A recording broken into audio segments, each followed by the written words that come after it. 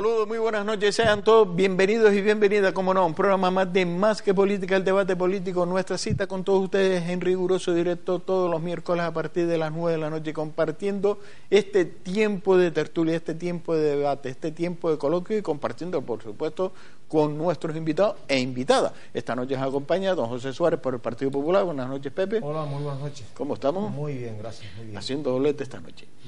Sí, bueno, yo creo que eh, lo que yo digo siempre, el esfuerzo y el sacrificio, pues yo creo que está bueno para la salud. ¿eh? También nos acompaña don Iván Sánchez por el Ciudadano. Buenas noches. Hola, gracias. ¿Cómo estamos, Iván? Muy bien, muy bien. Más relajado que Pepe, pero bueno, bien. Yo estoy relajado, Iván. Por parte de la formación sí, política más portel de don José Antonio Amador. Buenas noches, José. Buenas noches, ¿Cómo Paco. estamos? Muy bien, muy bien. Y por parte, en este caso, de Podemos, representando a Podemos, doña Esther González. Buenas noches, Esther. Muy buenas noches. ¿Cómo están ustedes? Pues muy bien también, gracias. Pues vamos a comenzar, y en este caso vamos a comenzar compartiendo este tiempo de debate, este tiempo de tertulia, cómo no podríamos traer a esta mesa la actualidad, y la actualidad de la política en Gran Canaria pasa por lo que publicó la, la provincia, que fue el que dio el primer paso, y nos hemos hecho eco diferentes medios de comunicación. Hablamos de la compra de los terrenos de Amurga por parte del Cabildo Insular de Gran Canaria. Los terrenos en el cual se pagaba más de 4 millones de euros, en el cual de esos terrenos, propietarios de los mismos, eran familiares e incluso la mujer del señor Román Rodríguez de Nueva Canaria. Don José Suárez, ahora usted Sí, esto. el debate. Lógicamente, los- las personas que, estamos en- implicados en el mundo de la, poli- de la política y máxime las personas que tenemos cargos públicos, tenemos un plus. Tenemos un plus que no nos beneficia porque siempre se nos mira con lupa cualquier cuestión que hagamos.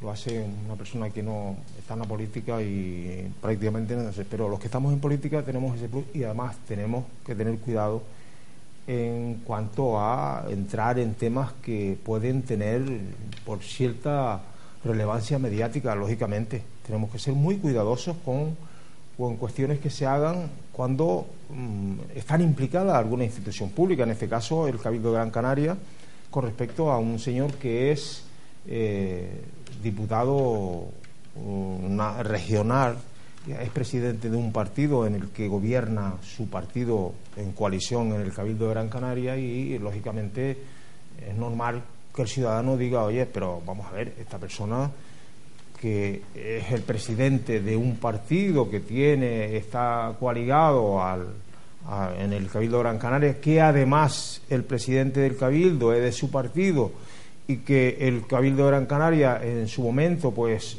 creó una bolsa de creo que era de 10 millones de euros para comprar terrenos en nuestra parte alta de la cumbre de Gran Canaria para reforestar, eh, solicitó mm, que se presentasen eh, ofertas para las personas que querían vender los terrenos. Se presentaron 96 propietarios, ¿eh? 96 propietarios de fincas se presentaron. Y es curioso que las primeras, las tres fincas que se vendieron, las primeras que se vendieron, fue a la familia de la señora de don Román Rodríguez que son cinco, cinco hermanos. Yo con esto no quiero decir que no tengan también derecho, el mismo derecho, pero ese plus que yo decía antes, tenemos que cuidarlo. Eh, lo curioso de todo esto es que la persona que hace las gestiones, la persona encargada de hacer las gestiones de la compra, es una persona que fue interventor del Ayuntamiento de Santa Lucía, gobernado por Nueva Canaria, fue el interventor de la Mancomunidad del Sureste, donde don Antonio Morales era, fue presidente cuando le correspondía, porque la Comunidad del Sureste es Ingenia, Güemes y Santa Lucía. Y claro, le preguntan al señor, Rodri- al señor don Antonio Morales del Cabildo que, que esta persona que gestionó esa compra, y él dice que no la conoce. Entonces a mí ya me da ahí un tufillo, es normal, tengo todo el derecho del mundo a pensar que aquí algo huele mal. Eh, al decir esto, pues me da, me da a mí la impresión, y es una impresión personal que yo tengo, que lo que ha intentado don Antonio Morales, porque parece ser, según las malas lenguas, como decimos de una manera coloquial, no tiene una buena relación con don, con don Román Rodríguez, mm, fastidiarlo. Fastidiarlo y que mediáticamente todo el mundo piense que don Román Rodríguez ha hecho gestiones para que la propiedad de su mujer se la venda al cabildo, esas propiedades que en la cumbre sabemos que son, son no son terrenos mm, pues productivos, ¿no? Prácticamente toda esa parte alta pues, pues son laderas y cosas que no producen y el que las vende pues está encantadísimo. Está encantadísimo porque le compra el cabildo para reforestar, que me parece bien. Yo ahí no le pongo ninguna objeción. La objeción mía es que, eh, al decir don Antonio Morales, presidente del Cabildo, que no conoce a la persona que gestionó todo eso, que no lo conoce, ahí es donde me da a mí entender que lo que ha intentado don Antonio Morales a, las personas que tenían que negociar con, con ese señor, pues, oye, hay que comprar esos terrenos para que mediáticamente pues ponga a don Román Rodríguez a la altura de- de lo que todo el mundo puede pensar, que él participó como persona interesada en la compra de esos terrenos. Y lógicamente, vuelvo y repito, ¿eh? que tiene todo el derecho del mundo la señora de don Román Rodríguez a comprar esos terrenos, pero también tiene que pensar que su marido, lo que yo decía antes, tiene un plus y tiene que cuidarlo. Por parte del señor Román Rodríguez, en diferentes declaraciones también desconocía, ¿no? Vamos a ver, Paco, es que que hay que ser muy ingenuo. ¿no? Hay que ser muy ingenuo para no, pero- saber pero quien declara es él, ¿no? que cuatro millones de Que euros que, sabía que viene tenía terreno al no, y sabe que de- tiene más terrenos más, pero él no lo... a la familia de su señora le dan, le dan cuatro millones que son parece cinco hermanos o cuatro, cinco, seis hermanos, los que sean. Le dan cuatro, le compran un terreno por cuatro y no lo sepa el marido. ¿Qué pasa? Que también tenía un yago en el garaje y tampoco lo conocía. Posiblemente. Hombre, Es que, hombre, no, no, las cosas, yo, a mí no me importa decir las cosas como son, es que es así. Hombre, hombre, Está bien. Don Iván, Mira, eh, que mira, por cierto, los terrenos son eh, protegidos. Sí, sí, Por lo cual ahí no protegido. se puede edificar ni se puede hacer nada. Salvo- la vida, ahora repoblarlo, plantar pinos y no sé qué más. No, no puedes plantar, ni, ni siquiera puedes hacer una finca productiva, ni vallarla, ni. No, mira, mira, normalmente me, me apunto las ideas en, en- en un pequeño blog que tengo y esta vez me he tenido que hacer un esquema, ¿no? porque eh, para intentar llegar a, a- a entender el asunto, un esquema como los, los que hacen la policía en las pizarras, ¿no? Este es este, ¿no? Porque efectivamente hay un montón de variables aquí y si encima le añado la que acaba de decir Pepe, en fin, ya me faltan, me faltan hojas en el blog, ¿no? Está roto el esquema. Se me- ya me rompió el esquema. ¿no? Porque, a ver, el macizo de Amurga efectivamente es un suelo natural, eh, es un suelo de producción paisajística, digo, es productivo, tiene un valor. Eh, no es una finca colindante con una propiedad del cabildo, que eso ya para empezar, bueno, eh, ¿por qué el interés en esa finca o no? Quiero decir, en este procedimiento de compra, porque se va a comprar, eh, lo que hay es bastante oscurantismo y bastante sospecha de que, de que, de que se ha teledirigido. ¿no? Y, se, y se pueden haber mezclado intereses privados con el interés público, que puede haber detrás en un interés público en repoblar y en fin. Eh, pero bueno, eso hay que demostrarlo ¿no? en, en- en expedientes y un documento, que seguramente el expediente será perfecto, o sea, no, no tendrá ningún matiz, ¿no? no tendrá nada reprochable. Parece que es legal la compra. Claro, porque está hecho por políticos profesionales, ¿no? Y, y- y en su profesión también está en presentar las cosas mm, para que parezca que todo sea, bueno, perfectamente legal, que seguramente será, eh, lo es, pero no es. Lo que se debate es si es eh, moral o no, ¿no? Si es ético o no. Eh, y esa es la cuestión, ¿no? Y por eso necesito hacer un esquema. Porque se hace, se, se convoca un Consejo de Gobierno extraordinario en diciembre, antes de que acabe el año, o sea, al 20 28 de diciembre. Eh, de todo esto nos enteramos además por la prensa, porque no hay mucha información. ¿no? Eh, para la compra de, ese- de- de esos terrenos, que además la compra se efectúa en, 20 en 48 horas, en dos Sí. días, a una familia for- o sea, a unos propietarios que son en realidad seis miembros, ¿no? entre ellos la mujer de Román Rodríguez. Cuando hay 96 ofertas. Cuando hay 96 ofertas que se desechan y curiosamente Claro. solo este suelo cumple con los requisitos y además tenía la, la documentación preparada en tiempo y forma para que llegara a ese Consejo de Gobierno. ¿no? Entonces la mujer de Román Rodríguez y sus cinco cuñados. Para que luego digan que los cuñados somos de ciudadanos, ¿no? Decir, también hay cuñados en Nueva Canarias por lo que, por lo que se ve en esta ocasión, ¿no? Pero dejando al margen las anécdotas, ¿no? Para que, para que entendamos lo que es un procedimiento de este tipo, la lona del mercado, ¿no? Una lona que cuesta 30.000 euros, ¿no? Que está valorada, nos la han prometido para poner en el mercado provisional y llevan tres meses Esperando por la lona. esperando por la luna. ¿Por qué? Porque necesita un procedimiento administrativo.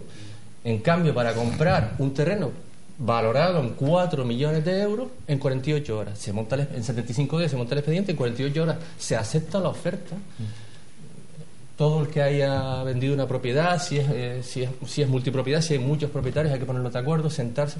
No siempre es fácil poner una familia de seis miembros de acuerdo, a seis familias en el fondo con sus respectivos herederos en el precio de venta. Hombre, como mínimo una tarde discutiéndolo, ¿no? Bueno, en 48 horas se vende, ¿no? Con lo cual, entendemos que Morales lo que tiene, el presidente del Cabildo, no su consejero ni su jefe de servicio, el presidente del Cabildo tiene que, ante un hecho así, dar explicaciones. Y es verdad que les, hace- les, ha, les ha permitido a la oposición eh, eh, consultar el expediente, pero siempre Claro, porque es legal, Iván. Claro, porque es estamos legal. ligados a ello, Claro. pero siempre eh, pues tachando los nombres de las personas y de, y, de, y, de, y de quién decide qué, para que uno no pueda seguir la pista y no pueda hacer un esquema con nombres y apellidos. ¿no? Todo esto al final no es, bueno, podríamos mm, con un trazo grueso decir que esto es corrupción. No, yo entiendo y de Ciudadanos entendemos que esto es una manera de hacer las cosas. Es la manera de hacer las cosas de Nueva Canarias. ¿no? Y también la forma en que ellos entienden el territorio. ¿no? Porque esa también es una cuestión de fondo. ¿no? Nos hablan de coisla y nos hablan de soberanía alimentaria, pero el territorio para ellos es un bien de consumo, igual que lo es para un promotor inmobiliario. Y en este caso nos ha costado 4 millones de euros y seguramente la familia de Román Rodríguez, que no se ha enterado del asunto, ha, ha hecho efectivamente una- un cospedal o una, una, anamato, ¿no? o una infanta incluso, ¿no? y no se enteraba de que iba a recibir por la compra eh, 340.000 euros. ¿no? Cosa que, que- que tampoco, tampoco tiene un pase. ¿no? Ah, Con pero lo cual, que- ante todo esto, lo que, lo que demandamos desde Ciudadanos es una explicación Son coherente sin, sin interés familiar. coherente y, y que bueno y, y que yo creo que, que- que es obligada en este caso ¿no? bueno eh, igual nos la dan. Claro, o, y- o igual siguen enredando la madeja y, y- y aquí no ha pasado y nada claro, y si volvemos para atrás, y perdona Paco, eh, claro, uno viendo esto se acuerda de esa conversa- conversación que hemos escuchado muchas veces de don Carmelo Ramírez, ¿no? sí sí por eso te digo que es una manera de entender las cosas esto lo hago Tenemos yo que gobernar para los soy- nuestros, para los nuestros. Claro, lo dice, lo ha dicho él Claro, sí, públicamente. el que manda. públicamente no, en una conversación que la Guardia Civil le grabó. ellos en el fondo no gobiernan no ordenan las cosas sino mandan ¿no? Claro. Pero un a hacer. procedimiento que se lleva por la vía de De urgencia. urgencia, claro. No sé dónde está la urgencia. Tiene todos los trámites legales, los ¿eh? terrenos. Eso sí es verdad. Bien, aquí no estamos diciendo si es legal o ilegal, estamos diciendo cómo se ha llevado todo este procedimiento y curiosamente cuando alguien dice, bien, sí, mira, nosotros hemos presentado, pues la familia son mis cuñados, mis hermanos, que tienen el mismo derecho, nos hemos presentado, pues mire, y el cabildo. Y decir pero cuando que no- que si no lo conozco, que si no hemos hablado, que si no lo entiendo, que si no lo he visto, que si no... que no Ahí es cuando conocía empieza los Claro, ciudadanos y que a no conocía y que no conocía a la persona que gestionó todo eso que fue el que hizo todas las gestiones que no la conocía que eso hombre es una pieza clave en todo hombre por favor ¿no? Que- sí. Don José Antonio. Vamos a ver, yo empiezo por esto último que has dicho, Paco. Yo creo que en política hay que distinguir entre lo que es la legalidad, Y la creo- ética. que creo que aquí no se está poniendo en cuestión, tampoco creo que estemos para eso, eso en última instancia hay otras instancias, otras reglas que deben. Y luego está lo ético y lo estético. Y yo creo que este procedimiento, eh, a medida de va saliendo información a través de los medios, vamos conociendo más datos y, y cada vez van saliendo más cosas a la luz que, que cuando menos chirrían. O sea, por ejemplo, el que se haya tramitado por un procedimiento de urgencia en 75 días, cuando estamos hablando de fincas protegidas, la necesidad de esa urgencia, mm, cuando menos cuesta, cuesta verlo. Y se convoca encima un Consejo de Gobierno en el Cabildo el día 28, un Consejo extraordinario por urgencia eh, y sin dar la información debida a, la oposición. Luego, uno de los informes del Cabildo que ha salido ahora en estos días de uno de los técnicos sale 18 días después a la compra, al- o sea, el 28 de diciembre, al día en que se efectúa la compra, otra cosa que, que, que, que chirría, hasta el, poco, hasta el propio consejero de Medio Ambiente ha dicho que había otros informes, que por qué se ha sacado eso, porque es que además se está, creo que se está gestionando fatal el tema desde, el- desde las propias instancias del, del Cabildo. También resulta extraño, como aquí se ha dicho, que de una bolsa insular de fincas rústicas, de creo que eran como 100 los... 96, los 90 96. sí, casi 100 los ofertantes, o sea, de la casualidad de que sean las tres fincas de Amurga que corresponden a los cuatro cuñados y a la señora esposa de, de, de don Román Rodríguez. O sea, ya es casualidad. Y que encima la persona que representa a todos estos propietarios, que creo que en total son 22, no son solo los cuñados, Mm, es, eh, como bien se ha dicho aquí, fue interventor de- del Ayuntamiento de Santa Lucía Y de la comunidad del sureste. y de la Mancomunidad del Sureste. Luego el metro cuadrado se ha pagado un 75% por encima, un 75% por encima de la baremación fijada. Pero eso, Otra- eso lo justificarán, quiero decir. Esto, Otra cosa que- Hay formas de hacerlo, seguro. Y luego, sobre todo, lo que he dicho antes, cómo se ha gestionado este tema. O sea, es que cada día uno oye al, al consejero de Hacienda, don Pedro Justo, oye, oye al presidente del Cabildo, y cada vez creo que a medida van saliendo los medios lo van enredando más. O sea, que el presidente del Cabildo diga que no sabía quién vende esos terrenos o sea, en ese expediente, o sea, y que diga que si lo llega a saber se hubiese tratado de otra manera, o sea, vamos a ver, eh, lo mínimo que, debe hacer dentro de sus funciones un presidente del Cabildo, un asunto de una, compra de 4 millones, una adquisición de 4 millones, que se, además se trata en una comisión, de, en un consejo de gobierno por procedimiento de urgencia, es leerse al menos la persona, el nombre de la persona que representa a esos 22, a esos 20, o sea, es que, mm, ya te digo, es un cúmulo, un cúmulo de, de, De despropósitos. de- de despropósitos, de contradicciones, que desde luego mucho y muy bien lo van a tener que aclarar y justificar.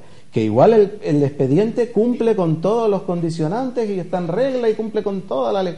Pero vamos, mm, desde luego necesita de muchas a- aclaraciones. Doña Estel González. Bueno, pues ya se ha dicho bastante y yo en, ese, en este sentido pues reitero lo mismo. la- el expediente yo estoy segura que va a estar impecable. Eh, la cuestión es el fondo ético que hay detrás de, todo esto y, las formas, las formas en que se han hecho. Llama mucho la atención eh, en estos procedimientos, en cualquier cosa más nimia, te pegas meses, meses, incluso años. Esto es un procedimiento que en 75 días está hecho. Eh, como dicen, una bolsa en la que se presentan 96 terrenos y ju- justamente quedan estos. Eran los únicos que tenían la documentación preparada, qué casualidad, que los únicos que tengan la, documentación todo, todo lista sean sea la familia de, la mujer de Román. Y mm, convocar un consejo extraordinario y urgente sin que la oposición supiera de que, que- que lo que se iba a tratar, sin que conociera el expediente en ese momento. Eh, a Podemos en el Cabildo se le ha dado acceso al expediente hoy, hoy 23 de enero, cuando eso se aprobó el 28 de, diciembre, hoy 23 de enero se le ha dado acceso al expediente a Podemos. Y, bueno, las formas, pues, mm, huelen un poco raro. Eh, el tema del precio que, que comentaba, sí, yo estuve leyendo también que los técnicos hablaban que si tiene un par de unas cuestiones que tiene unos, unos valores eh, extra que hacen incrementar el precio. Pero vamos, es curioso porque sinceramente yo no conozco ningún caso de una familia con una herencia que se ponga de acuerdo en una venta en 48 horas. Eh, vamos a ver, todo el mundo conoce historias de familias con herencias que se pegan años y años y años para resolver algo porque no se ponen de acuerdo entre tantos herederos. Pues aquí en, en cuestión de 48 horas se pusieron de acuerdo. Bien, tuvieron que ver que el precio que le estaban ofreciendo era a una ganga que no podían no podían perder esa oportunidad para que en cuestión de 48 decir venga vamos para adelante todos de acuerdo y, todos con lo mismo y, vamos ya han dicho ya eh, coincido con lo que han dicho los demás sería reiterar lo mismo pero vamos que las formas que han sido cada vez que salen pues yo creo que lo, lo enredan más el, tema, todo lo- el oscurantismo de toda esta situación, decir que no conoces a una persona cuando ha sido alguien que ha sido cercano a ti todo ese tiempo. Eh, pues como digo, el expediente es segurísimo que está, que está impecable y tendrá el tema del precio tendrá sus criterios técnicos, pero claro, los criterios técnicos son todos subjetivos, ¿sabes? Que es una cosa que el- precisamente es el técnico el que, lo- el que los pone y trabajan para, para los que trabajan, está claro.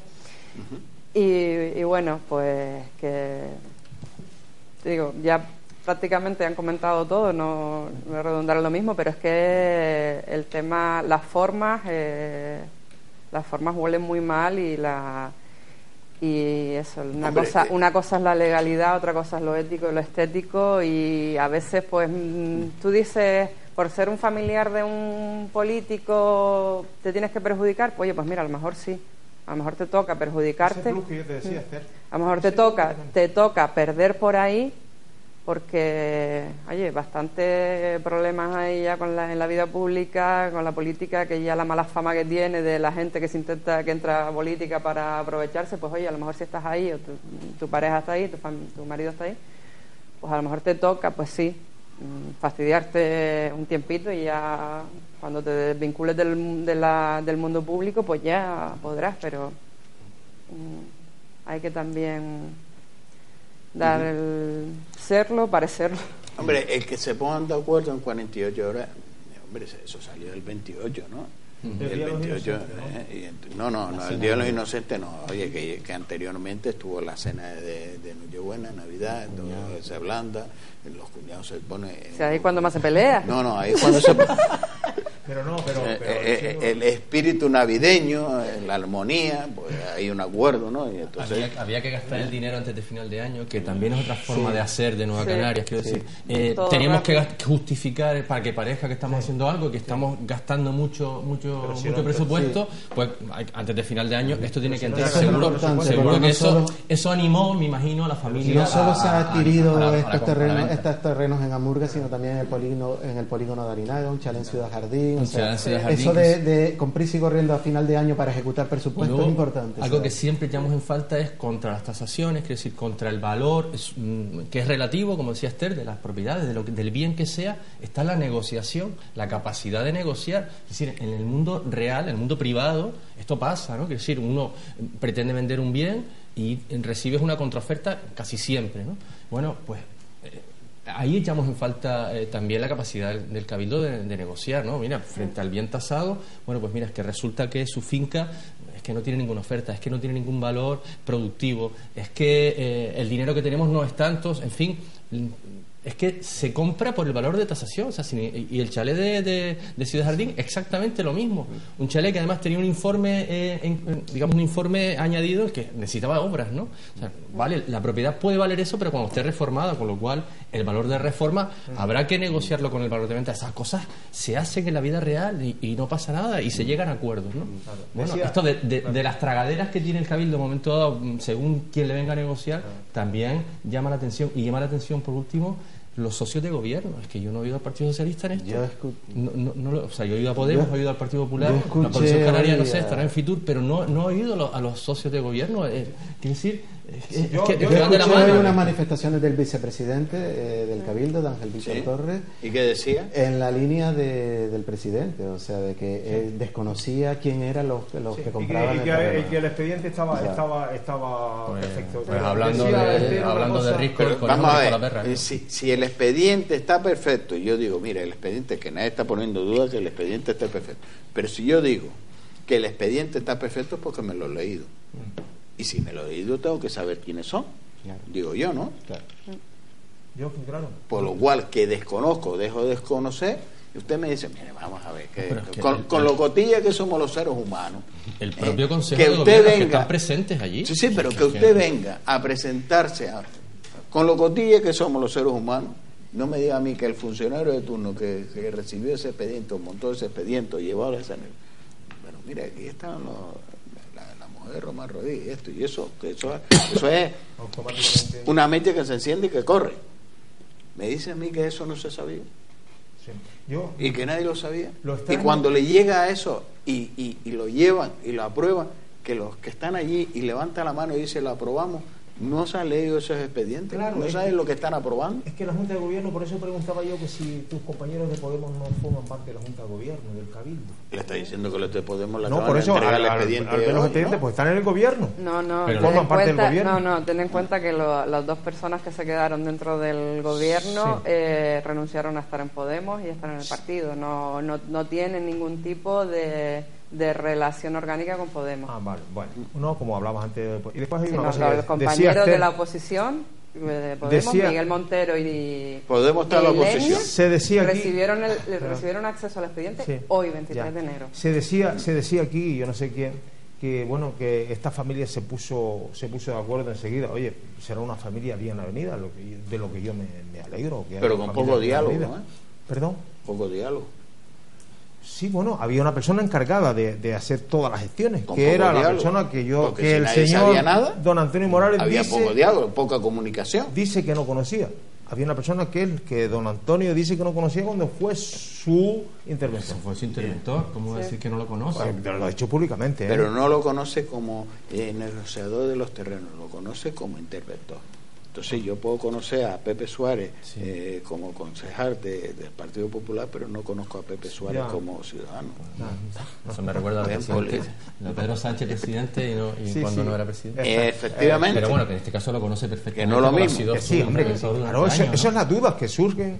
Y luego también en las explicaciones el propio Román Rodríguez ha dicho que el expediente se retrotrae, hay que retrotraerlo a 2014. Sí. Vamos a ver, en 2014 Sí. lo que hay es un interés del Por cabildo comprar por comprar fincas. Fincas. Plural. Y pone, entre otras, pone su en, en Amurga. Pero el expediente, lo que es el expediente restringido de adquisición, es que en Amurga más se tramitan 75 días en el ejercicio pasado. O sea, es que tratan un poco de desviar la atención, la pelota, a- a- de retrotraer a la otra legislatura cuando realmente cuando se hace la adquisición es en, esta, en este mandato. O sea, Por lo cual se intenta enredar más el enredo. Claro. Es que, sí. sí, o Para, para o el ciudadano de a balones, pie, llámalo. Sí, el el expediente no empezó en 2014. Tiene muchas expediente dudas. no empezó en 2014. Independientemente que volvemos otra vez a reincidir que el, el expediente está, está bien hecho, aunque el precio, la valoración del suelo, hay un baremo y nosotros no vamos a entrar en los técnicos, no lo creo podemos- que tengan lo- ningún lo- interés. Lo en- podemos dar por bueno, pero lo- la transparencia y cómo Claro, se ha llevado. es- ¿Qué prisa habría para comprar los terrenos para llevarlos por la vía de urgencia? Digo yo, ¿no? Sí, claro. Salvo que ahora El aparezca petróleo. el presupuesto. Pero es que dice, El, decía el Iván, presupuesto anual. que hay que ser. Esa es la urgencia, gastar Iván, el pero ¿cuánto? Si no han, no han gastado el presupuesto. Pero mire, por la, No, hay- pero, pero, pero subes un punto en el nivel, en el Ah, nivel bueno. de ejecución, de, ¿no? Vale, punto, pero mire- es lo que es la idea que se persigue. Pero final. es que cuando yo oigo, escuche, oigo, y, y teníamos aquí en una de las entrevistas al alcalde de Moya, y el alcalde de Moya nos dice que ha puesto a disponibilidad de- de- del cabildo unos terrenos, un proyecto para hacer una residencia. Cuando vemos los datos actualmente en Gran Canaria de la lista de espera para acceder a una residencia que son más de 2.000 usuarios y no se ejecuta y se lleva a cabo algo de primera necesidad, Y se como puede ser una arriba, necesidad, sí, sí. como puede ser una residencia donde podía invertir el cabildo ese dinero sí. Y se compran los terrenos y baldíos. se ahí. compra unos terrenos por la vía de urgencia, unos terrenos que no se va a desarrollar nada, que salvo que no, desconocemos. A lo mejor es que hay un pozo petrolífico o, o un manantial Quita, que vamos a tener el agua en Gran Canaria hasta el 3033. Pero más Digo, yo no más sé, no sé lo que hay. Más extraordinario es lo de Wiwi, que pasó casi de puntilla y comprar unos terrenos en Wiwi, en Wiwi por 3 millones de euros. Unos terrenos que están protegidos, en los que no se puede hacer nada. Es decir, nada es nada, es protección Tener los propietarios y tener los cabildos es igual. Eh, exactamente, igual, es mismo. exactamente. O sea, porque ni siquiera hay deber de mantenimiento, es irse ahí para que pasten las cabras, ¿no?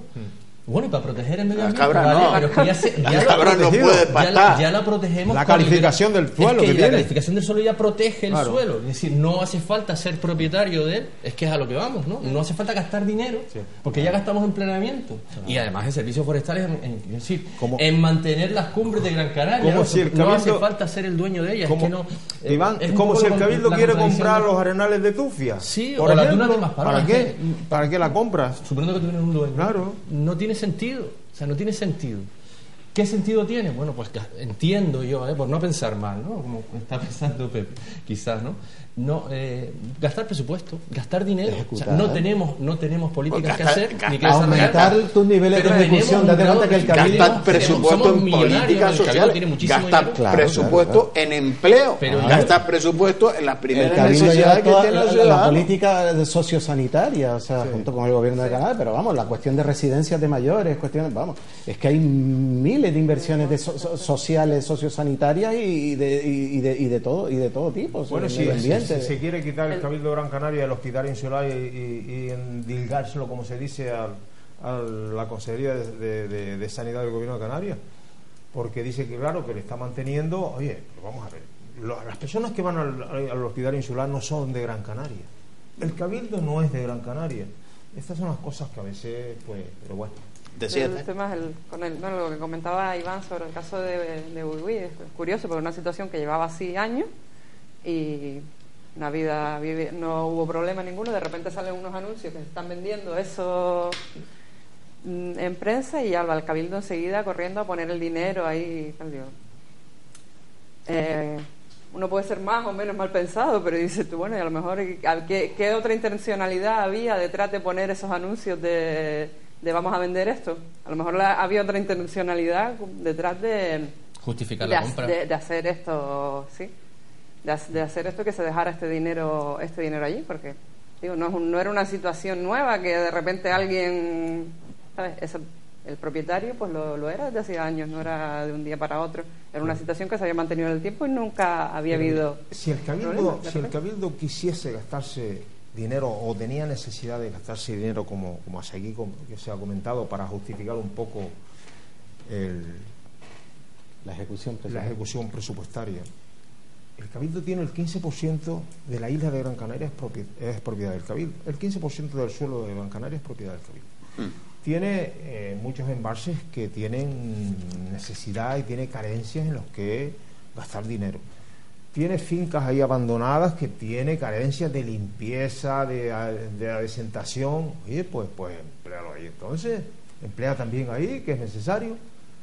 Pues, por lo tanto, ahí podemos pensar muchas cosas con respecto a esta compra.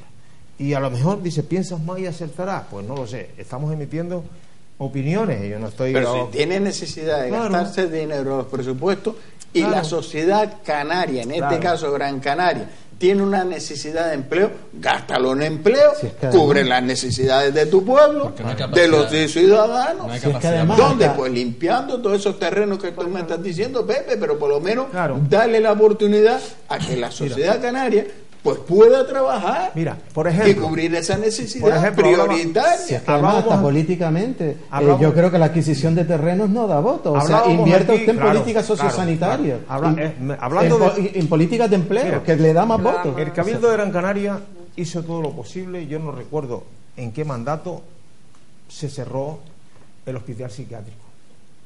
Pues no tenemos un hospital psiquiátrico. Por ejemplo, el servicio sociosanitario, ¿por qué no tiene un... un- podía, podía, tiene que gastar, quiere gastar dinero. ¿Con ¿Cuántas personas hay que tienen que tienen familias que tienen personas con este tipo de problemas y se los tienen que tener en su casa? El hospital militar, ¿no? El antiguo hospital militar. Sí. Una ala de Sí, pero, pero ve- ve- vete, vete a, a ingresar a una persona allí a ver lo que te pasa. Porque antes, yo recuerdo hace muchos años, una persona que tenía problemas eh, psiquiátricos, pues lo ingresaban en el, en el hospital psiquiátrico.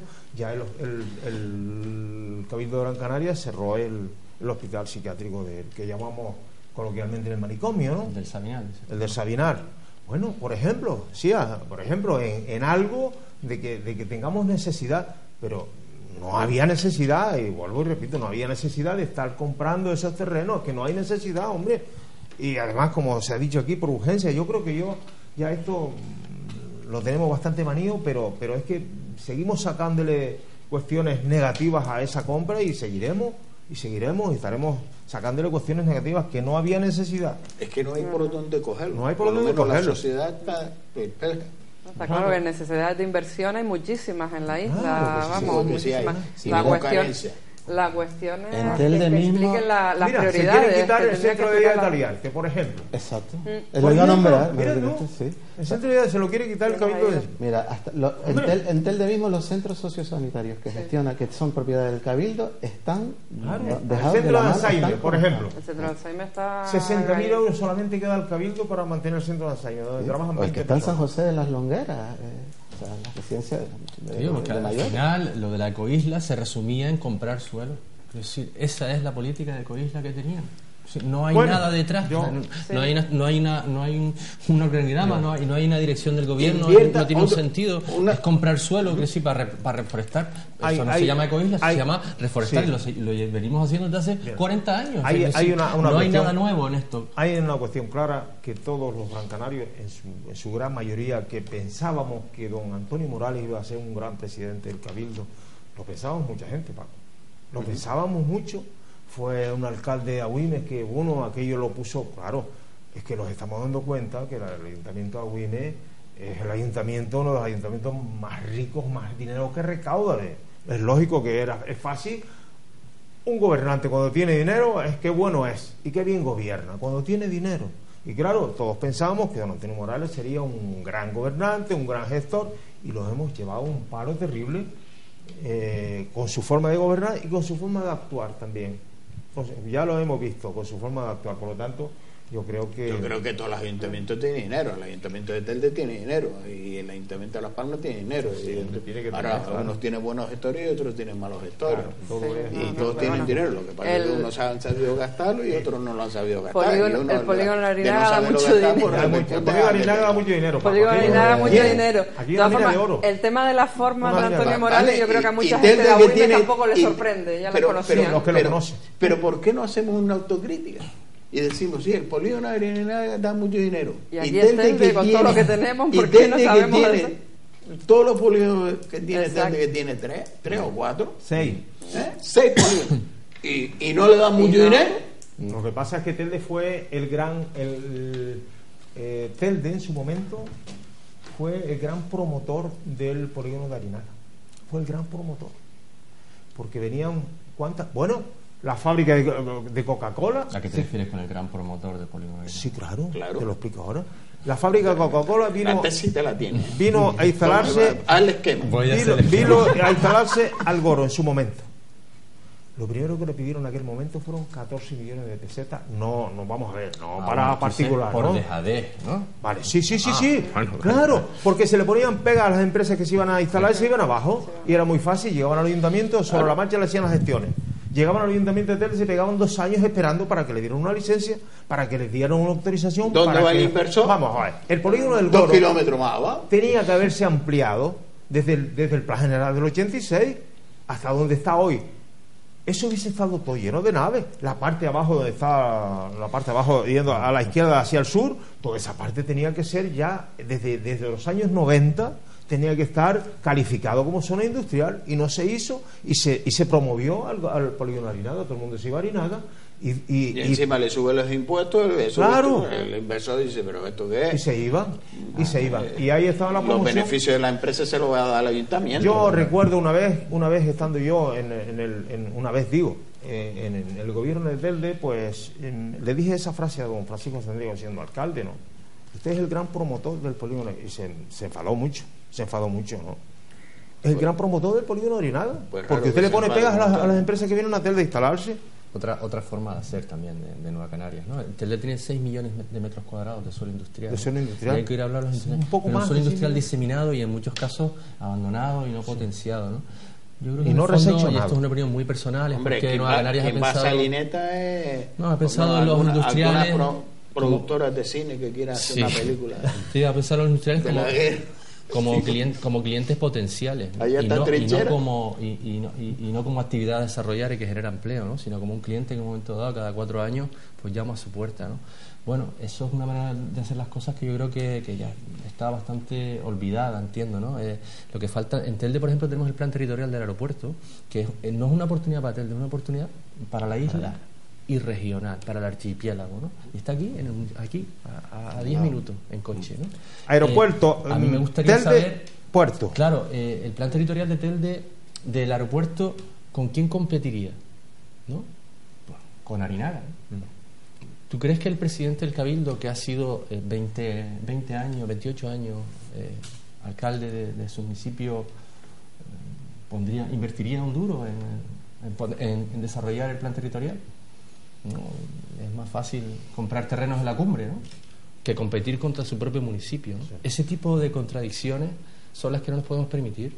Es decir, el- o, o la isla eh, tira para adelante y encuentra una vía eh, que sea alternativa al turismo y a consumir suelo, en fin, de forma alocada, o, dentro, o lo empezaremos a pagar. Y bueno, de hecho lo pagamos, ¿no? Estamos a la cola de empleo de, España, ¿no? Y en Telde a la cola de empleo de Canarias, ¿no?